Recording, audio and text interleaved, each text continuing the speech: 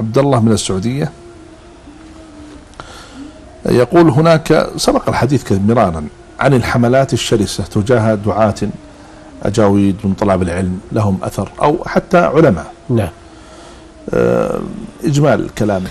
مثل هؤلاء الذين يقع ويقدح في العلماء الأفاضل والعلماء الصادقين الربانيين فإن هذه علامة سوء من ذلك المتكلم وهي دلالة أن في قلبه مرض ونفاق.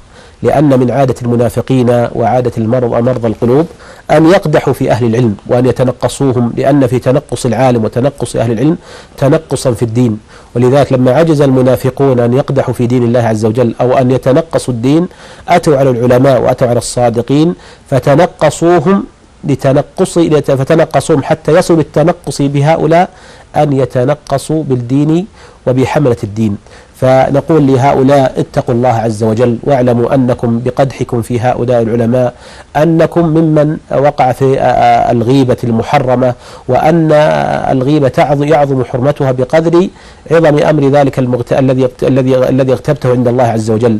ولا شك أن العلماء هم ورثة الأنبياء وأن غيبتهم أعظم من غيبة غيرهم من عوام الناس. وإن كانت الغيبة كلها محرمة إلا أن غيبة إلا إلا أن غيبة العلماء أشد حرمة. قال ابن عساكر أن غيبة أن, أن, أن لحوم العلماء مسمومة وعادة الله في من انتقصهم معلومة أي أن الله يفضح ذلك المنافق ويصيب بلية عاجلة في دنياه قبل آخرته.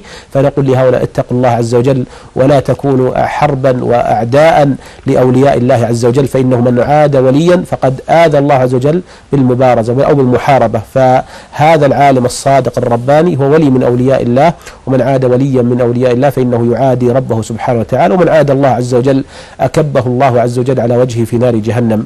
فنقول آه، أولا لأولئك الذي يقدحون اتقوا الله عز وجل واتقوا ربكم سبحانه وتعالى واحفظوا ألسنتكم ولا تكونوا عونا للشيطان وممن يصد عن سبيل الله عز وجل. ونقول أيضا لأولئك السامعين اتقوا الله عز وجل ولا تسمعوا لمثل هذه المجالس ولا تشاهدوا ولا آه، تتلقفوا مثل هذه الأقوال فإن مجالسهم مجالس باطلة وسماعها محرم ولا يجوز لمن حضرها أن يسكت عن الإنكار فيها فإذا عجز عن ذلك وجب عليه المفارقة أو إغلاق مثل هذه الأجهزة أو مثل هذه القنوات حتى لا يكون عونا على على هذا المحرم. ومثل هذه القنوات يحرم على المسلم أن يشاهدها ويحرم على المسلم أن أن يجلبها إلى بيته وأهله ويجب على كل مسلم أن يكون عدوا لها وأن يحذر منها وأن ينبه على خطرها خاصة إذا كانت تحارب دين الله وتحارب أهل العلم والفضل. أحسن الله إليكم.